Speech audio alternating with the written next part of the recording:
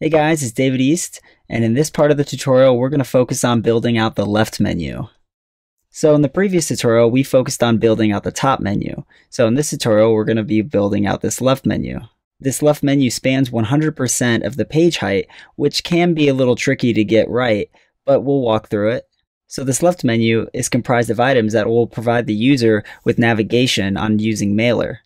As you can see, there is an active tab, which is this teal color, and there's also a notification on the message tab. So let's take some measurements here. So we can see that the menu is 185 pixels wide. So each navigation item is around 52 pixels in height. We also can see that each icon is around a 24 by 24 icon. And the font size for each item is 15 pixels. So down in our variables file, let's create a section for the left menu.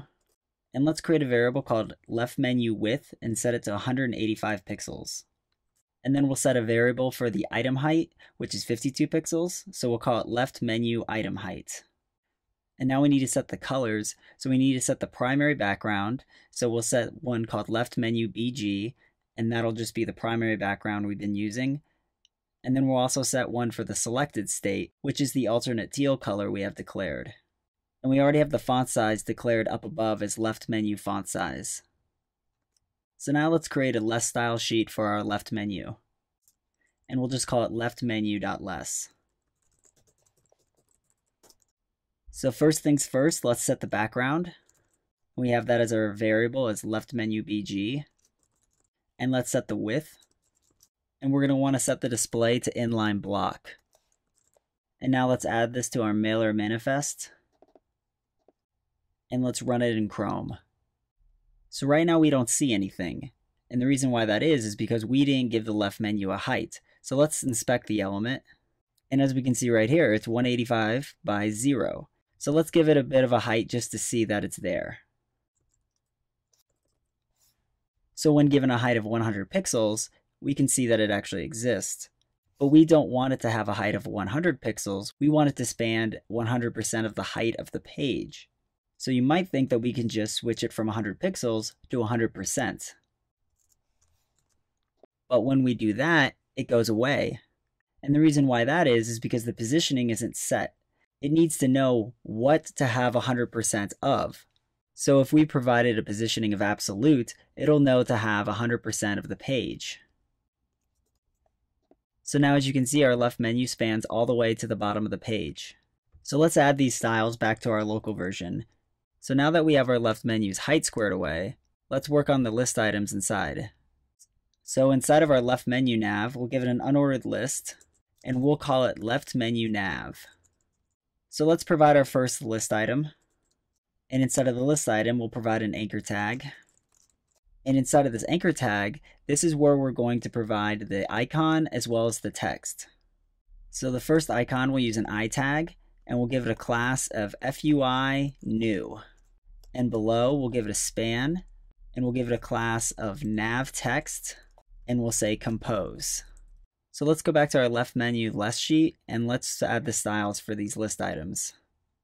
So inside of left menu, we have left menu nav, and inside of left menu nav, we'll have a list item as well as an anchor tag. Let's first start out by providing the color of these anchor tags. And the color is just white. And now we need to set the height which is just the 52 pixel variable we created left menu item height. And we're going to want to set the same thing for the line height. And then we're also going to want to make sure the display is block. And we'll make sure that the width spans 100%. So let's test this out in Chrome. So our list item is there, but we do have a bit of a padding issue. We need to provide some padding so it lines up with the mailer logo. So let's fix this in the browser. And instead of editing this in the browser like we've done before, let's use a special Chrome extension. And this extension is called Less CSS Creator.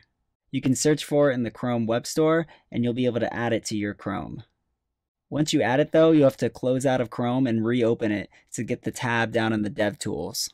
So let's inspect this element. And then right over here, we'll click on Less CSS Editor. And inside of here, we can write less that'll affect our page in the browser. So I pasted in the left menu nav that we're working on. So let's add a padding left of 25 pixels to the left menu nav. And once you apply a style, you need to click the preview button to apply the change.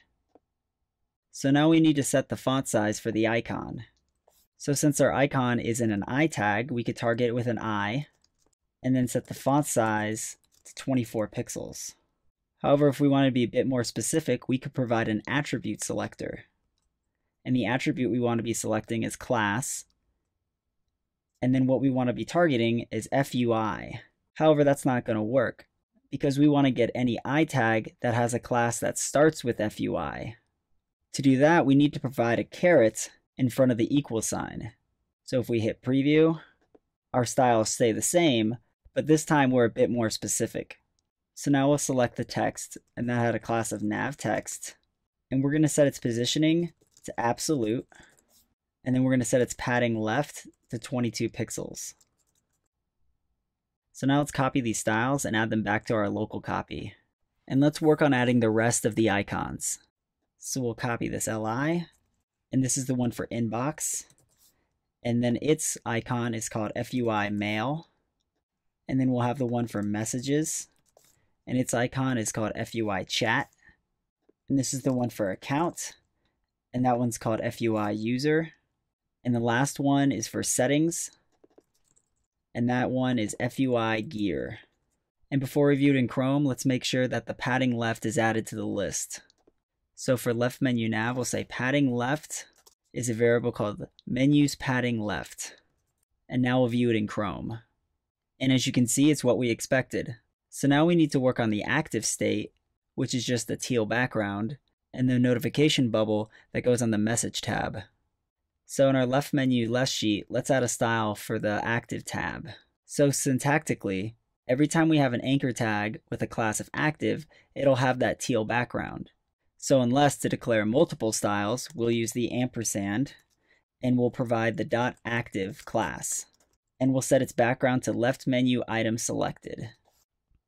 So let's go to the HTML and apply that style to a tab. So let's add a class of active to the inbox tab.